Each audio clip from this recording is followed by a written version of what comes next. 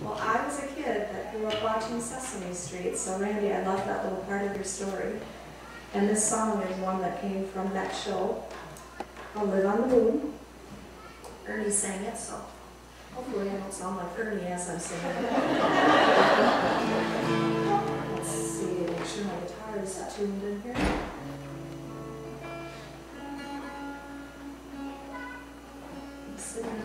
Sorry.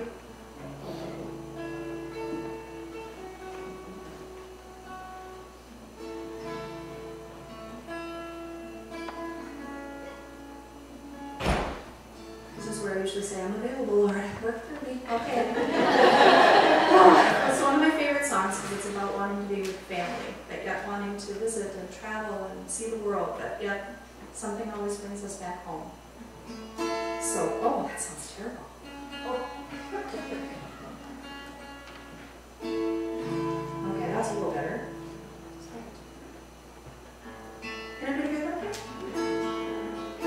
here's the moon from Sesame Street. Well, I'd like to visit the moon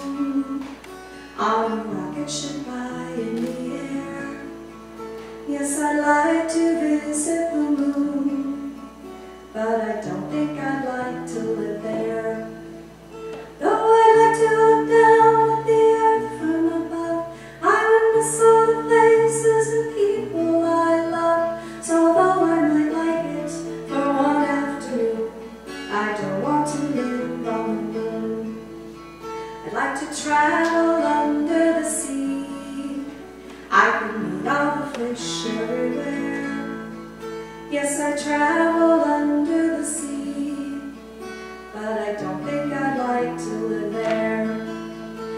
I would stay for a day there if I had my wish, but there's not much to do when your friends are